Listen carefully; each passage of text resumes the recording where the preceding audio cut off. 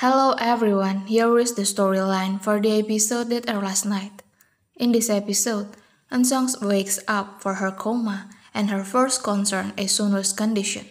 She worried that he might have been injured in the accident as well.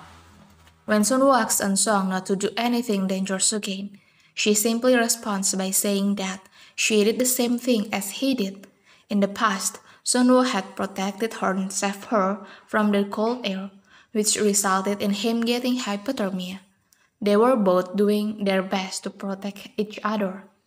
After the news of Eunseong regained consciousness spirits, both her family and Jung-ae visit in the hospital.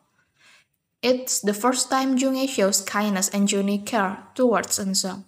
She even asks Eunseong to be careful and take care of herself. Jung-ae's change in attitude makes Eunseong's parents think that she might have changed as well. Indeed, Jung-ae no longer wants to avoid facing reality. However, Ki-suk still wants Jung-ae to refrain from discussing Sunwoo's biological mother with him.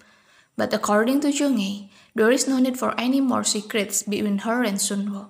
She also invites Sunwoo to have a talk. During their conversation, Sunwoo explains that the reason he didn't want Jung-ae to know that he already knew the secret of his birthday was for his own sake. He doesn't want his relationship with Jung-ae to change because for him, she is his only mother, whether they are related by blood or not.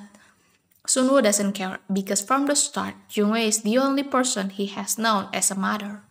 He also understands Jung-ae's attitude, which has made his relationship with Eunseong difficult. He acknowledges that mothers can sometimes be like that.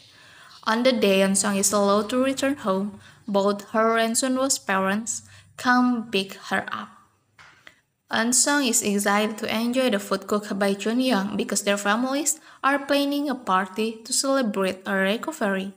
At the same time, Jung-ae tells Ki-suk that Sunwoo doesn't want anything to change after the revelation of his birth. Initially, Jung-ae was worried that Sunwoo would change, but she is relieved to know that for Sunwoo she is the only mother.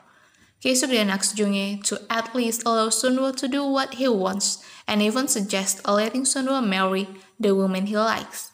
That's why, when Eunseong and her family arrive home, Jung-ae also comes to their house. She explains that she couldn't let Eunseong and Sunwoo meet without her permission.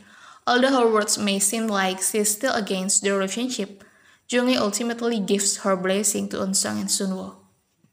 Okay everyone, that's the storyline for this time and thank you for watching my video.